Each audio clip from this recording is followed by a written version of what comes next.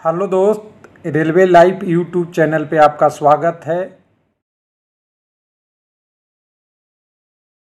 Hello दोस्त, एक बहुत बड़ा सवाल लोगों का है, हमारा नहीं, आरआरबी, एलपी वैकेंसी का सारा सीट फुल हो गया है। भुवनेश्वर, चंडीगढ़ और मंगलौर।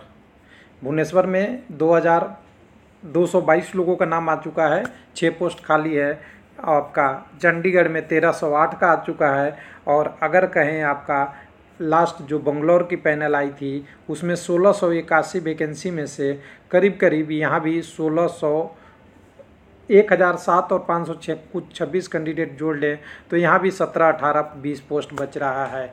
यानी पैनल में जो वेटिंग लिस्ट कैंडिडेट आ गए हैं तो बाकी बचे हुए वेटिंग लिस्ट का क्या होगा? ये सवाल लोगों ने पूछा कि क्या कंडीशन बचेगी अब, कि अब वेटिंग लिस्ट क्लियर होगा या नहीं होगा, ये बता दीजिए। मुझे अभी एग्ज़ाम की तैयार करनी चाहिए या हमें वेट करना चाहिए? तो हम ज़िंदगी में कहते हैं लोगों को कि अगर आप स्टूडेंट है तो कभी वेटिंग की भरोसा ना करें। वेटिंग ऐसा खेती है, कभी फ़सल दे जाती है, कभी इंतज़ार बहुत लंबा कराती है। कब वो भी इतने सालों तक करा सकती है जिसकी कोई गारंटी नहीं है। तो सबसे बेस्ट पॉलिसी है कि आप अपने प्रिपरेशन को जारी रखें, जहाँ पॉसिबल है, वहाँ अपनी ट्राई करते रहें। वेटिंग में हैं तो आपके पास एक लिस्ट है कि शायद कभी न कभी कुछ कारण मिलेगी। तो उसी कारण के बारे में बात करेंगे कि अब वेटिंग की कंडीशन क्या बचती है। तो सबसे पहले हम जानते हैं कि दो वेटिंग होता है, दो प्रकार से क्लियर होता है वेटिंग आप कहीं भी जाएँगे, कोई भी कंपटीशन होगा, चाहे एलपी हो ग्रुप डी हो। यहाँ ग्रुप सी एंड डी की बात करेंगे हम।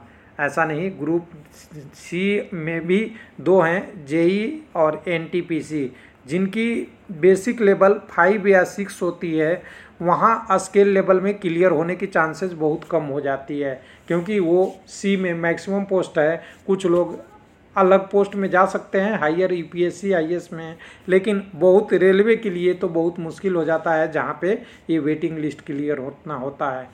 तो हम वेटिंग लिस्ट के बारे में जब भी बात करते हैं तो एक तो पैनल कंप्लीट होने से पहले वेटिंग लिस्ट क्लियर होनी चाहिए थी। वो कौन कौन से आरआरबी में हो चुका है? बंगलौर में, आपका चंडीगढ़ में और भुवनेश्वर में भुवनेश्वर में हो चुका है।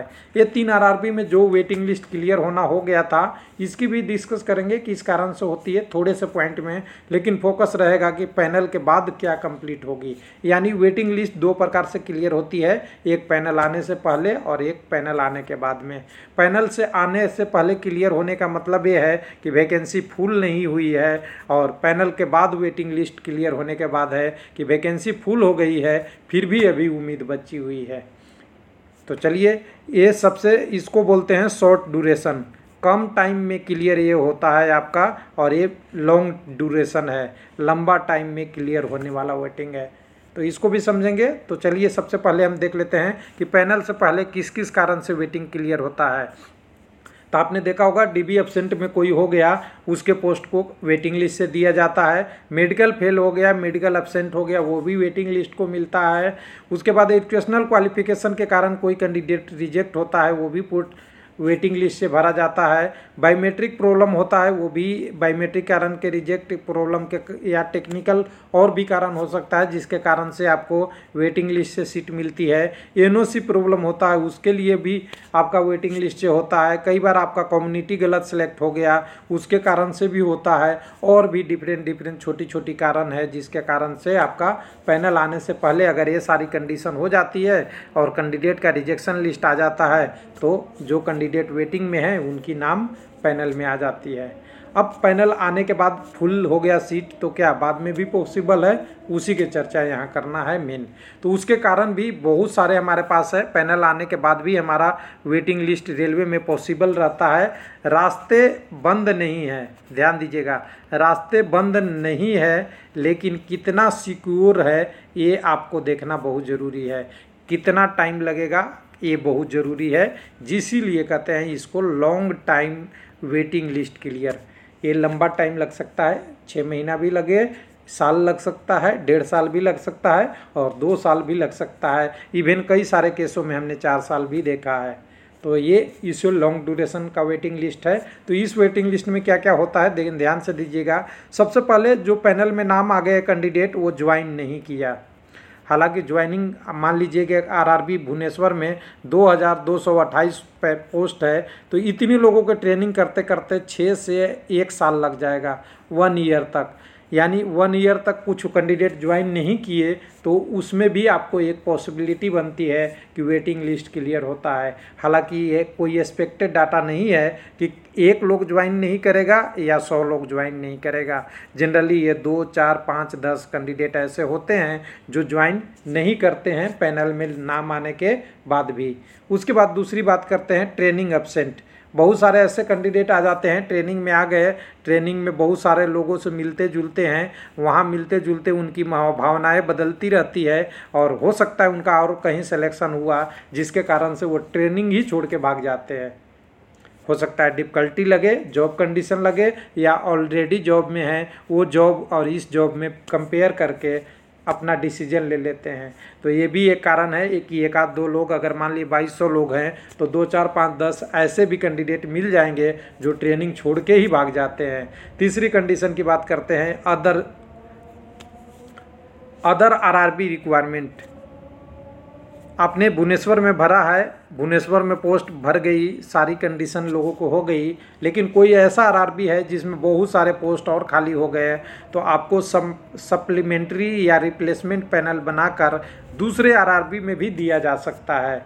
तो इसके लिए भी आपकी पॉसिबिलिटी एक बनी रहती है। लेकिन हालाँकि आप दूसरे आरआरबी में जाएँगे तो आपसे चॉइस पूछा जाता है कि आप जाना चाहते हैं या नहीं जाना चाहते हैं। ये भी एक कंडीशन है, जहाँ से भी जॉब मिलने की संभावना है। और अगर ऐसा आ गया तो इसमें करीब तीस, पच्चीस, चालीस ऐसे वैकेंसी या सौ तक भी हो सकता है। बहुत अच्छी खासी लोगों को यहाँ पर वेटिंग लिस्ट क्लियर होने की चांस होती है। उसके बाद आपका रिजिग्नेशन जॉब में ऑलरेडी जो पहले एलपी में कैंडिडेट हैं, वो अपना जॉब छोड़ देते हैं रिजाइन कर देते हैं, जिसके कारण से भी एक दो चार पोस्ट खाली होते रहती है टाइम के साथ, क्योंकि टाइम यहाँ छः महीना से लेकर चार ईयर तक है। इसके बीच में कुछ ना कुछ ऐसा घटनाएँ होती रहती है, कुछ लोग जॉब छोड़ते रहते हैं। उसके बाद डिपार्टमेंट प्रमोशन पहले जो कैंडिडेट एलपी बने हुए थे, वो ट्रेन चला रहे हैं, उनकी सीनियरिटी बढ़ गई और भी बहुत प्रोसेस हुआ, जिसके कारण से ऊपर की तरफ़ बढ़ गए प्रमोशन हो गया, जिसके कारण से भी वेटिंग लिस्ट खाली होती है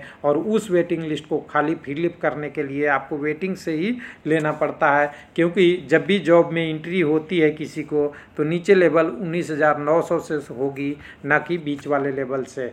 उसके बाद रिटायरमेंट बहुत बड़ी प्रोसेस है। रिटायरमेंट एक हमेशा कंटिन्यूस प्रोसेस है रेलवे का। कंटिन्यूस प्रोसेस है। मान लिए आपने आज ज्वाइन किया। मान लिए आपको लेते हैं एक जनवरी 2020 को आपने ज्वाइन कर लिया। और जो वैकेंसी आपकी आई थी, वो 2018 में आई है जनवरी में। तो दो साल हो गए।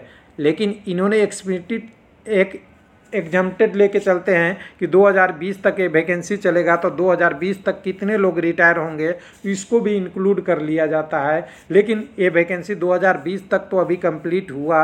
इसके बाद 21-22 तक अगला वैकेंसी नहीं आई। तब तक रिटायरमेंट हो रही है। वो आपका वेटिंग लिस्ट से धीरे धीरे पूरा किया जाता है। और फाइनली जो कंडीशन है, सबसे बड़ा डिराइव करने वाला फैक्टर है नेक्स्ट रिक्रूटमेंट अगला वैकेंसी कब आएगी? बहुत बड़ी चीज़ है वेटिंग लिस्ट क्लियर होने के लिए। जब तक अगला वैकेंसी नहीं आती है, तब तक वेटिंग लिस्ट वाले कैंडिडेट आरआरबी के लिए एक, क्या कहते हैं गोल्ड लोन है। आपने गोल्ड लोन सुना है? बैंकों में रखा हुआ आपका, आपने लोन लिया है, लेकिन उसके जगह पे गोल्ड जमा किया है।